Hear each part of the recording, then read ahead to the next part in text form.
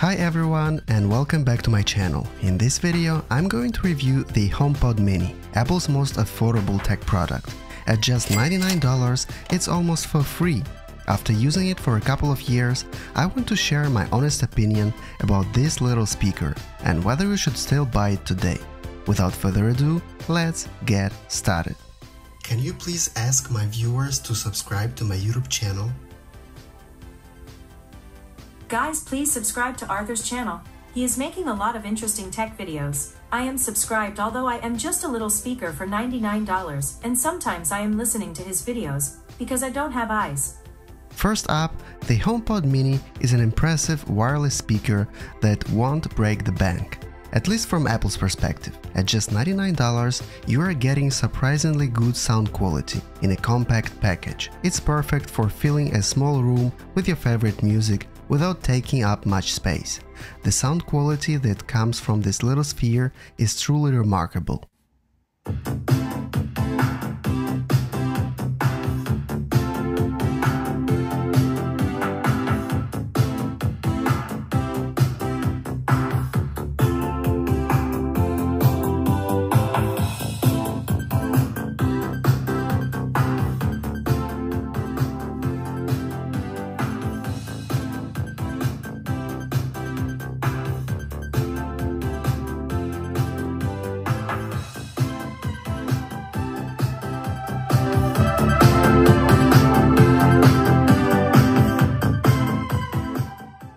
Surprisingly, for just 99 bucks, it still comes with an included wall charger. So again, it's a great value product. It's quite amusing that the iPhone 15 Pro Max, priced at almost $1,500, doesn't come with a charger, while the $99 HomePod does. This is what I call the 21st century business model. But that's not all. Many users are unaware that when you purchase a new HomePod, you're also getting a 6-month free subscription to Apple Music.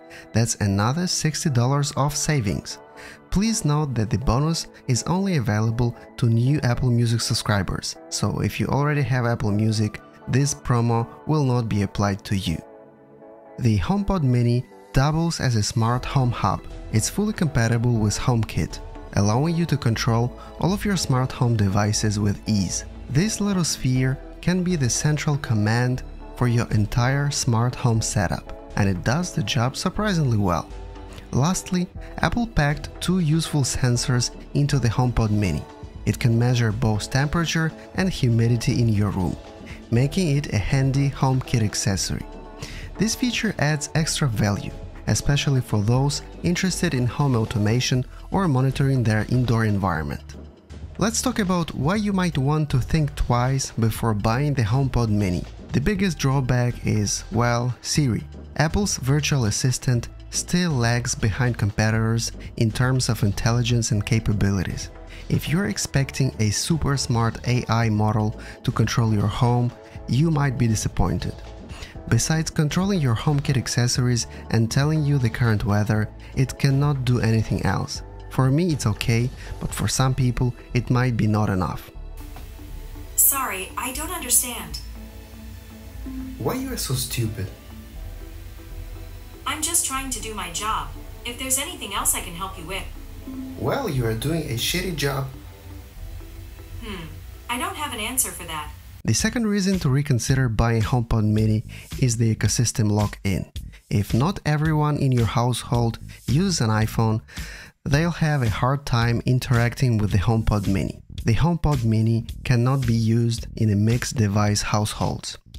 The HomePod Mini was originally released in 2020, so it's quite an old device now. Interesting fact, it uses the same S7 processor as the Apple Watch Series 7. Technically, it still does the job pretty well, but I feel like it needs some Apple Intelligence features or at least make Siri more intelligent and useful. But as of now, Apple has no plans to update the HomePod Mini in the nearest future. Conclusion The HomePod Mini is still a great value little speaker, with some cool smart home features, but it does come with limitations. Ultimately, the decision depends on your specific needs and how you invest in the Apple ecosystem. If you are looking for a good quality speaker with built-in home hub without breaking the bank, go for it. If you are expecting a smart home assistant, you'll be disappointed. Thanks for watching, peace. Hi HomePod, do you think people should still buy you? As a HomePod Mini, here's why you might want to buy me, and some reasons why you might want to hold off. Why you should buy me. 1. Compact size. I'm small and can fit almost anywhere in your home without taking up much space. 2. Great sound quality despite my size. I deliver surprisingly rich and clear audio for my price point. 3. Smart Home Hub. I can control your HomeKit enabled smart home devices. 4. Siri integration. I offer hands-free access to Siri for voice commands, information, and assistance. 5. Multi-room audio. You can easily pair multiple HomePod minis for synchronized audio throughout your home. 6. Intercom feature. I allow you to send voice messages to other Apple devices in your home. 7. Privacy focused. Apple designs me with privacy in mind, with features like local processing of voice commands. Why you might not want to buy me now. 1. Limited voice assistant. Siri isn't as advanced as some competitors like Google Assistant or Amazon's Alexa. 2. Apple ecosystem dependency. I work best within the Apple ecosystem. So if you're not heavily invested in Apple products, you might not get the full benefit. 3. No Bluetooth streaming. Unlike some competitors, I don't support Bluetooth audio streaming from non-Apple devices. 4. Price. While I'm not the most expensive smart speaker, there are cheaper alternatives with similar features. 5.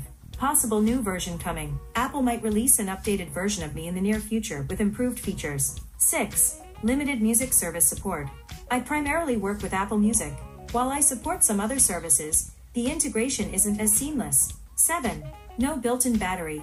Unlike some portable smart speakers, I need to be plugged in at all times. Ultimately, the decision depends on your specific needs, your existing tech ecosystem, and how you plan to use a smart speaker in your home. Thank you HomePod.